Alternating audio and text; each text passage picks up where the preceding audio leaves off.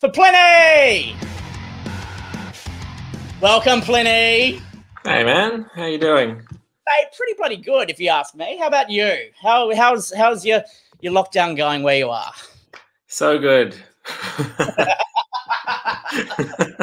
Probably not the best question to lead with. I totally apologize for that, mate. But uh, look, you're playing Unify Gathering next year. Uh, and for those who don't know, you're an instrumentalist, you're an instrumental band act. Uh, how do you take that from uh, the recording process to the stage presence and, and put on a show? Uh, we will see. Um, the first one of the first festivals we ever played was called Brutal Assault in the Czech Republic, and it's like in this old fortress castle. Uh, most of the bands are like extreme metal, black metal, that sort of thing. I think we played before or after Aborted. Um, right.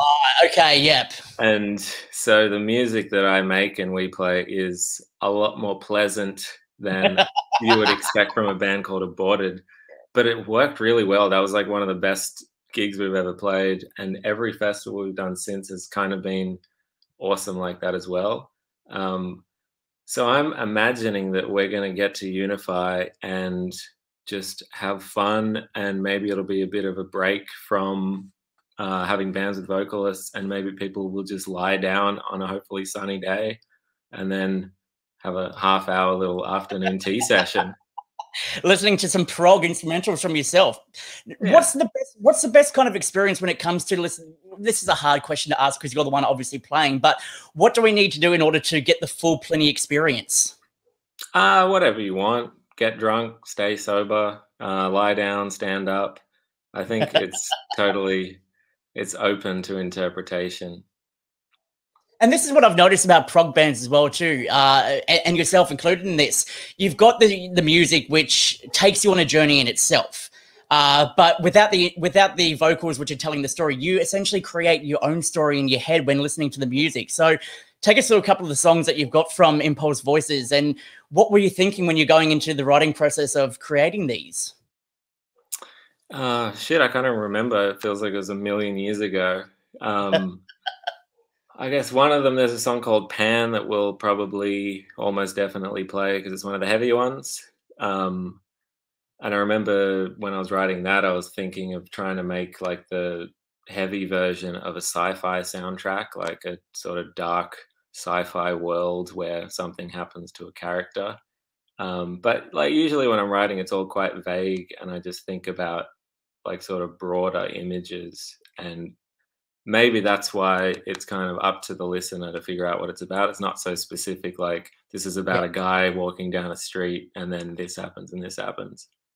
So you could be having, you know, one of these situations where you've uh, you've quit your job, for example. Let's put this into perspective. You quit your job, your boss was an absolute dickhead, and then you hear one of your songs, and it's just got this this this euphoric moment that really packs a punch, and then you could relate it to that essentially, and then that song becomes the soundtrack for that moment that you've got in your head. Yeah, that I mean that's like one of the best ways that I've ever heard it explained, and I'm going to take that and use that for the rest of my life. Um, one like there's a song that I did a few years ago called Electric Sunrise, and I remember specifically for that I was listening to a demo while I was working on it um, when I got on the plane to go to the states uh, for the first time in my life. So I've always associated that with like going on a new adventure sort of thing. And I think, yeah, that's it. Like uh, a lot of, I'm assuming a lot of people at Unify will have never heard of any of this music and maybe they'll associate one of the songs with like some odd moment that they have at Unify.